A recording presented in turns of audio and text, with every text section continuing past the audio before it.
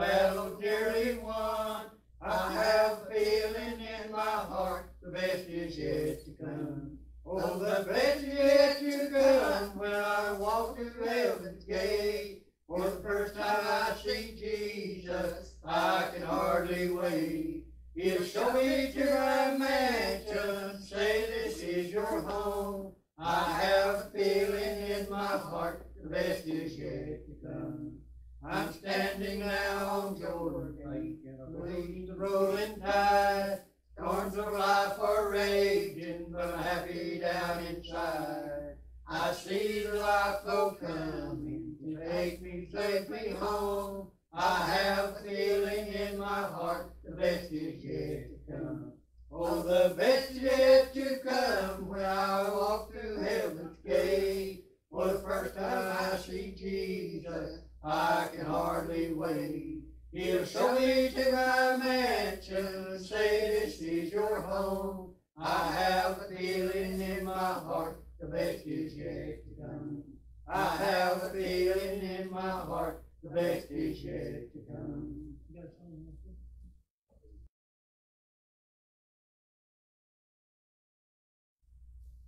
Good morning, church. Good morning.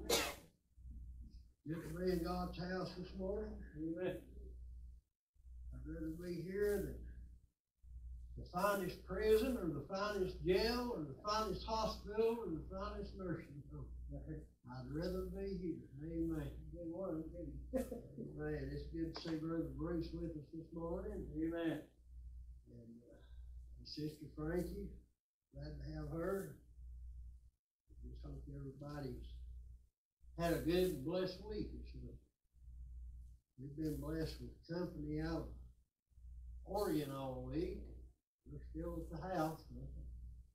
They won't come to church with us, but maybe we can say something or do something while they're there. That'll make them realize they need the Lord in their life. Amen. Thank you. People come to church anymore. Yeah, it is. Turn will, in the book of Joel. Chapter two. And I'll start reading about verse twenty-eight. I hate we was out last Sunday, Lord knows all about it. had a bad head cold and couldn't hardly stand up. About, about passing out. Terrible when you get in that shape. Lord knows all about it. I'm glad I serve one that can heal. Amen. Take it away. But Y'all pray for me this morning. I still got a bad running nose, so I may have to run it down after a while.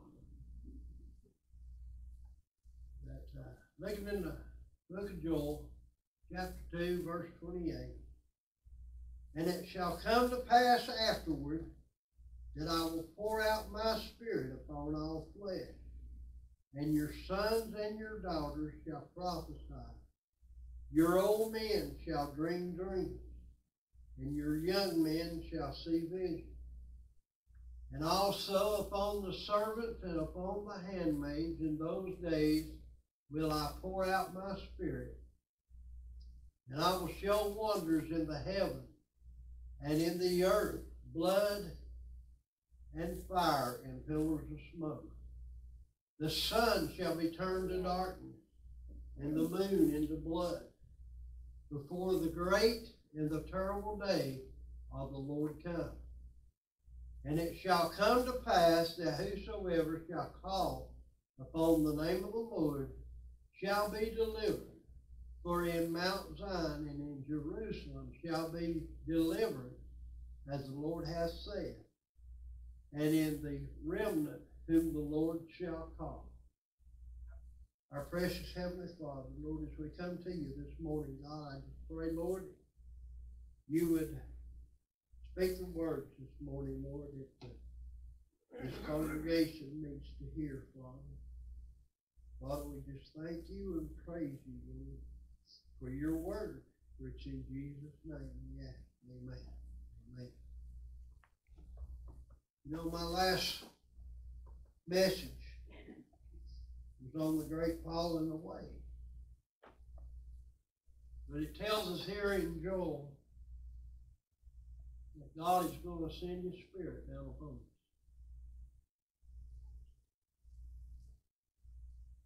And it shall come to pass afterward that I will pour out my Spirit upon all flesh. And your sons and your daughters shall prophesy. Your old men shall dream dreams, and your young men shall see visions. You know, a lot of people don't believe in prophesying. They say that's that's that's a thing of the past. But I believe there's still prophesiers here that can prophesy and see the future and help us be ready for the future. I believe that the return of God, the return of Jesus is very soon upon us. I know my wife has dreamed very often about the end times. And, uh, a lot of people say, well, that's foolish. But I believe God gives people the sight to see a little bit about what's gonna happen. So they can be better, better prepared. I'm looking for it. I've said this many times, I'm looking for him today. If he don't come today, I'll be looking for him tonight. If he don't come tonight, I'll be looking for him in the morning. And so on, so. I'm never gonna give up looking for it. Because I know how the shape this world in. That his coming can't be very far off.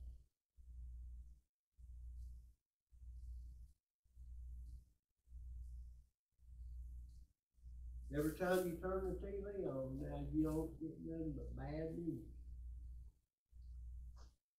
More and more freedom is being taken away.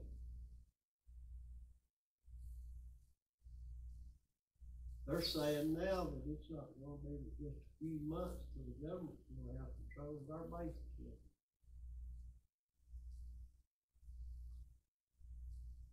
The government is trying their best to take control of own, mm-hmm. what we do with what we own. You know, back in the fifties, back in the sixties, you know, you could build a house, build it the way you wanted. You didn't have to go down and get no permit to build a house. You didn't have to get no permit to put a septic tank in. Look at it today. I don't know what it costs for a- a septic tank permit. They don't tell me what it costs to do. But you gotta get a permit to build that house. And once you start building on that house, they have to come and inspect every level that you do to that house. When you get your walls up, they come and inspect. When you run your water, and come back and inspect. Then you gotta have a final inspection before they allow the fire to be turned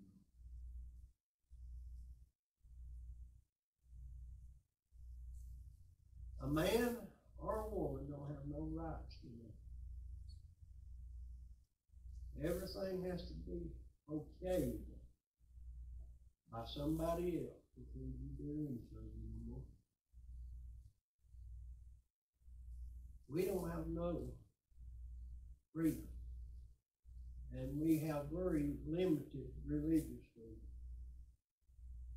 I can't even upload a video on YouTube anymore. Because the video guy load up that is church services.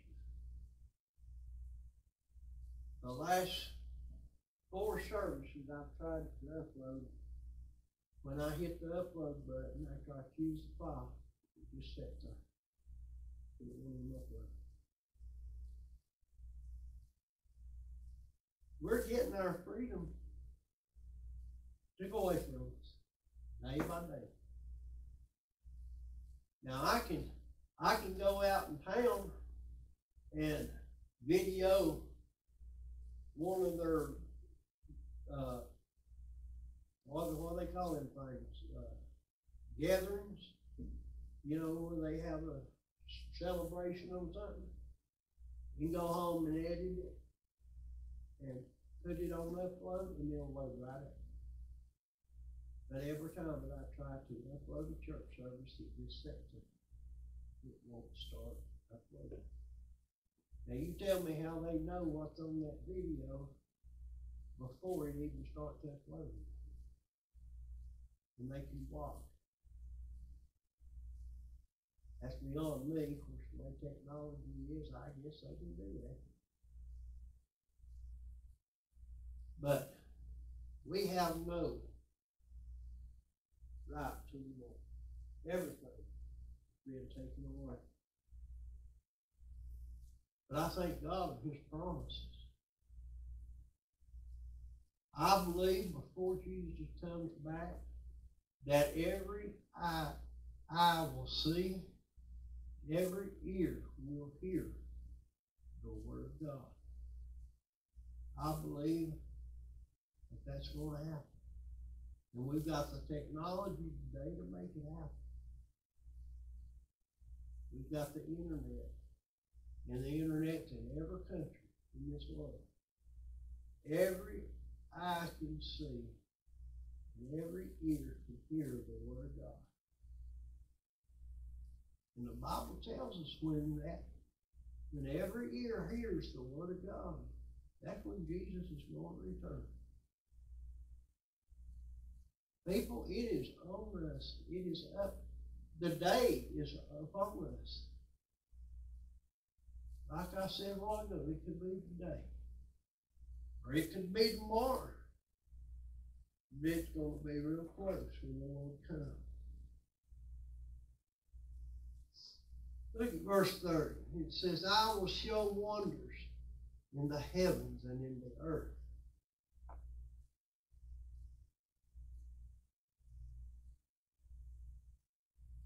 In the earth, blood and fire and pillars of smoke. The sun shall be turned to darkness, and the moon into blood. Back in 2017, we had that total eclipse in the sun. It turned dark for what, 20, maybe 30 seconds? But it turned completely dark in the middle of the day. I've never seen that before.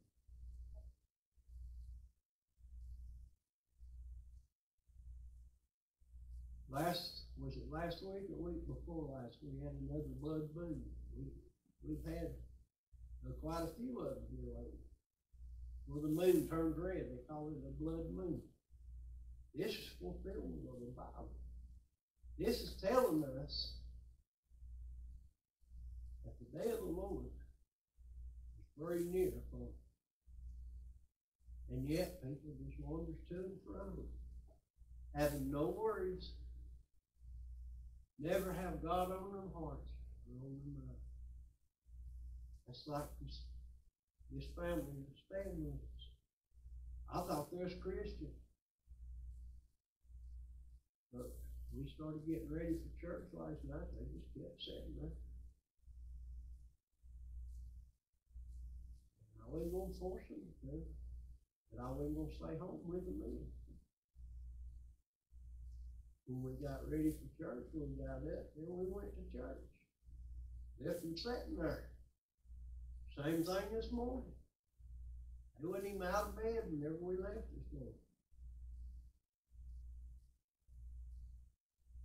But I hope and pray I can say something to them before they leave. Makes them realize how short time is. And how they need Jesus in their life. I don't see how anybody can go through life without wanting to know Lord.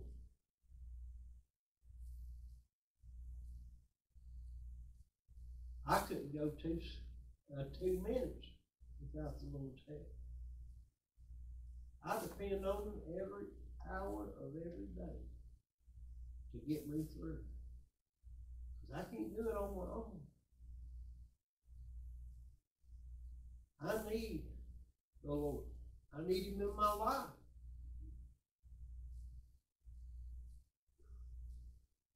I thank God that I had a praying mother that prayed for me. And I thank God that because of her prayer, I was led to the altar. And I knelt and asked God into my life. I thank God he called me to preach. The first thought in my mind when he called me was, Lord, I can't preach. And I can't. It's got to come from God. I can't preach. If I stood up here on my own without trusting in him to lead me, every one of you done walked out on me. If I tried to do it on my own. But I thank God that He leads us. And He directs us on what to say when we get up here. He gives us a message. And there's a lot of times that I kind of lose track of where I'm at and what I'm doing. He's always there. He put me back on track when I kind of lose my place. You know, I've got I've got some memory problems, and it scares me to death. That one Sunday I'm gonna I'm gonna stand here. When I think about this, it scares me to death. I'm scared to death that one Sunday I'm gonna get up here and stand, and I'm gonna lead y'all astray. That scares me. But as long as I can put my trust in God, I believe He's gonna lead me in the way that I need to lead you. I mean, I can't lead you. The only thing I can do is just the word to you. But I believe that God will give me the words. As long as I'm willing to stand. God will lead, and guide, and direct me in the right way.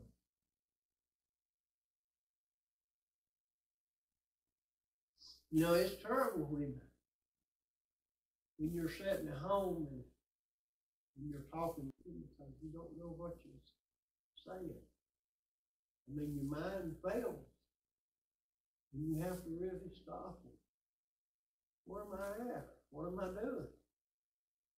I get like that a lot. And it scares me. What if I do that on Sunday morning when I'm up our church? That's why I have to keep my eyes on God.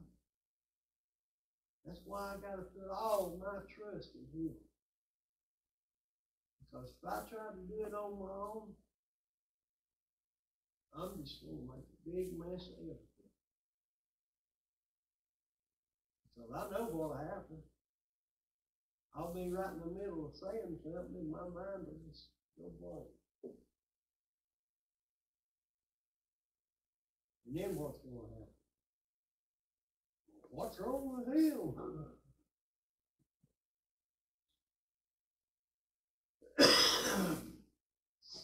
And it shall come to pass that whosoever shall call upon the name of the Lord will be delivered.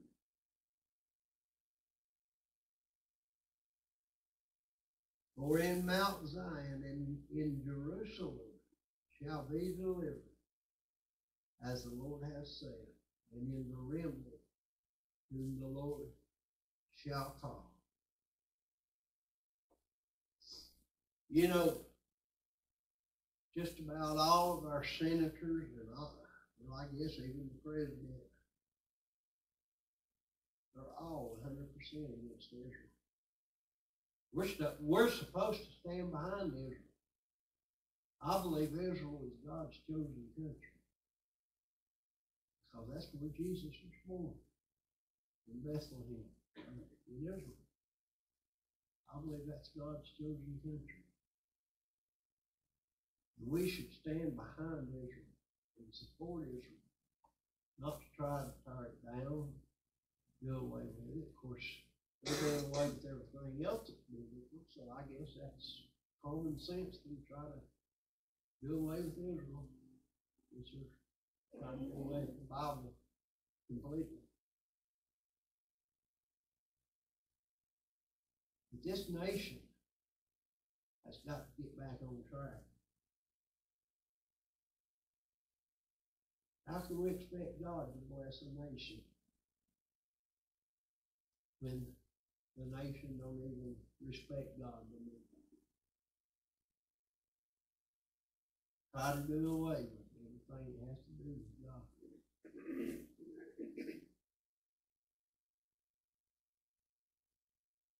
You know, when 9 11 hit, everybody, everybody was on their knees.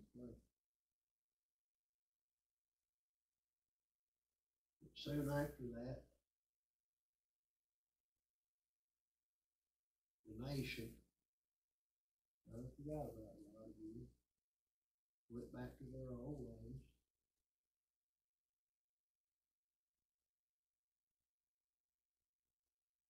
You know, God destroyed Sodom and Gomorrah for the lifestyle that they was living. And I believe this world is wickeder today than it was then. I don't know that because I wasn't there in Sodom and I do believe that. That it's in worse shape than they. God's going to destroy this world. This world as a whole is going to pay for their sins.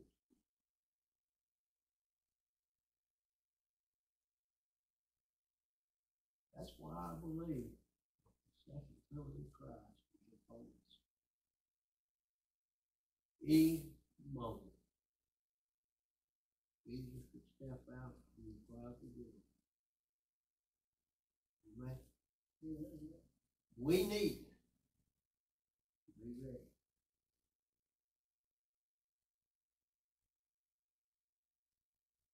I don't, I don't have my doubts. that Anybody in here is not saved. I have no doubt about that. I believe everybody in here is saved. I believe everybody in here knows the Lord is their Savior. Amen. And that's a good thing. That's a wonderful thing. It's a glorious thing.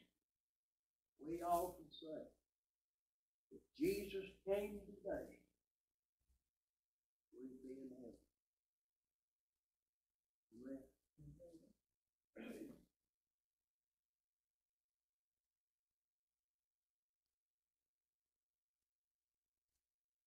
What about the rest of this world? Where they gonna be?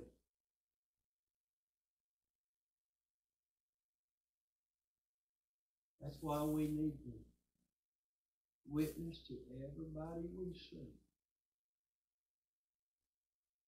As the old song goes, preach it from the housetop. Tell the world, Jesus saves. Jesus saves. Well, that's just like whenever we was going home yesterday, kind of like that. You know, uh, they was at, picking and greeting down at they pack. And others said, the Lord calls them was in church tonight, Yep. that's what she said. Amen. That, that was been a blessing. Yeah. Well, you know, our last thing, we had a full house. And I was expecting one last night. But the ones that was here, were the ones I guess the Lord intended to be here. But we still had a good service. We had some awesome singing. Well, but the, the first group was awesome. But everybody minded the Lord. We had a good time. Spirit is here. Amen. The Spirit was here. You know, it don't matter. If we'd have had to went out to the trailer out there and brought out chairs, that'd been fine. It don't matter if there's ten here. It don't matter if there's a hundred. God is gonna be here. But in this day and age, it's hard to get a church house filled. It is. Everybody's got everything in the world to do. But you mention going to church and they'll just, it's just like they shut down. They can't comprehend the word going to church. Let's go to church. And they'll just sit there like a mule looking at a new gate. And you can bring up another subject and they're, they know more about it than anybody else, you know. But you mentioned going to church, and just like shut down. Nobody wants to talk about church. I get excited about going to church. I get excited when I think of what God's done for me. I can't help but get excited. I mean, when you sat in a wheelchair for four years and you can't walk, and God brings you out of that chair, that's something to get excited about. God.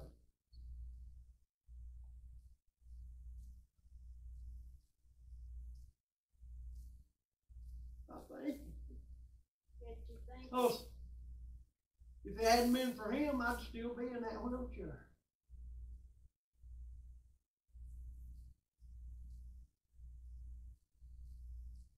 I was more or less just homebound for those four years, because it was so hard on Tandy to get me out, get me loaded up, put the wheelchair in, and then get we was going, have to pull that wheelchair out, have to pull me out of the car, and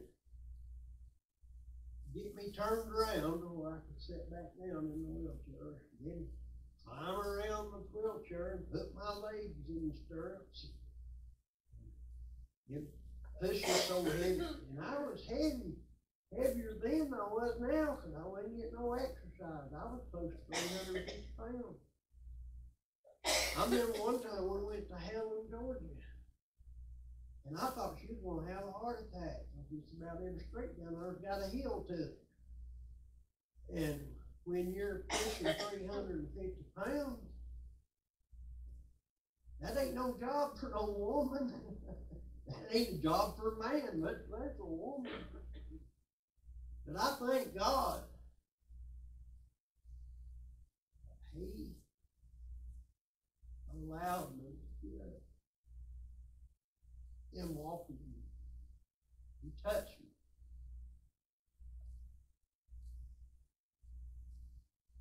And that's something to get.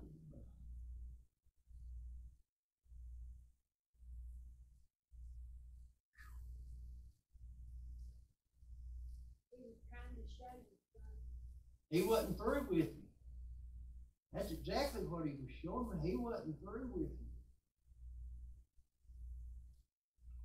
But if it hadn't been for him and his mercy and his grace, I wouldn't be standing here.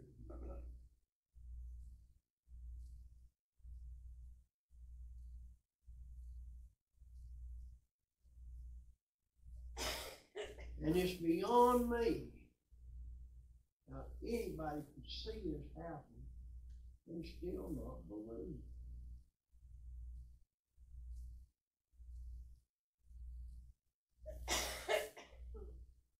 we don't need to wait Amen.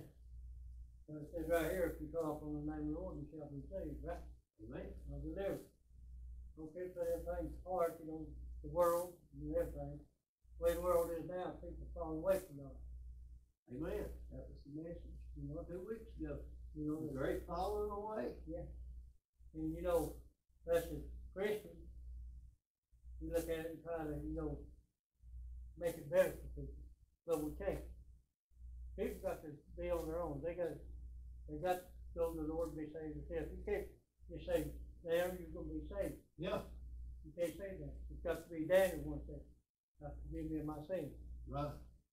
But see, we can't do the world like that. I've seen preachers go down and drag somebody to the altar. That ain't doing nobody no good. You can't force somebody to be saved.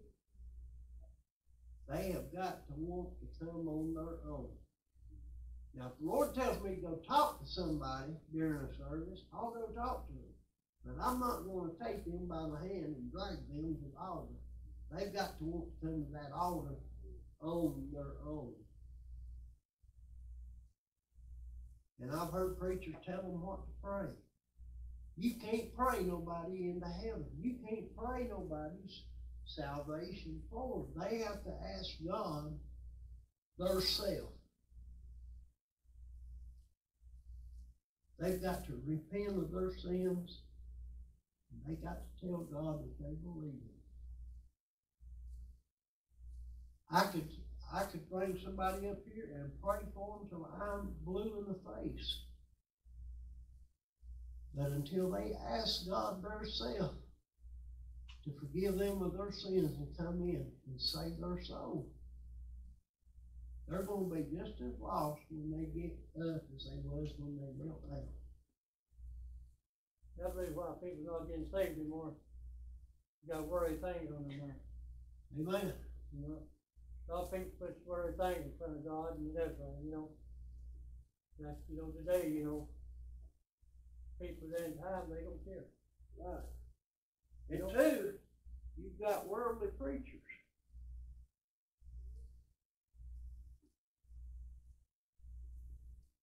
You got waters a sermon down and sugarcoats it because they don't want to offend nobody. Well, I must have offended YouTube because they won't let me upload them on the church uh, uh, uh, services. But if I offended them, tough, I'm not apologizing. Cause I believe that what I preach, I believe it comes strictly from God. And as long as I stand on the word of God in my messages, I'm not apologizing to nobody. If the governor comes here today and said, you can't stand in that pulpit no more because of what you preach. Tough. I'm not apologizing for it. Because I preach what God gives me and I can back every word that I say up with this Bible. And I'm not apologizing. Now, there may be a time come that I may get a little off kilter a little bit. But I believe I've got God godly men in this church that will set me straight if I do. And I expect that. If I if I preach something and can't back it up, I expect the men of this church to take me aside and give me a good talking to. And show me where I'm wrong. And I believe that they'd do that. I'm not gonna test them. Cause I don't wanna answer to God to teach them something that ain't so. I want to be in God's will, especially when I'm behind this pulpit.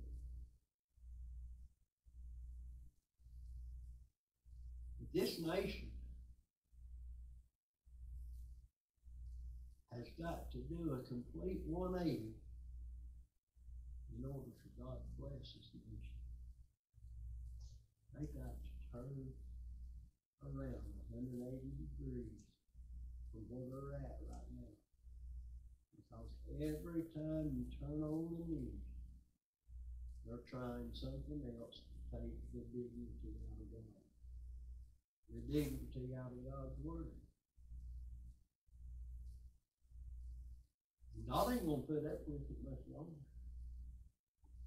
I don't see how he put up with it as long as he has. Cause if it's left up to me, Jesus buck would already come back. But I, I get fed up real easy with the world. And The way they carry on and conduct business anymore.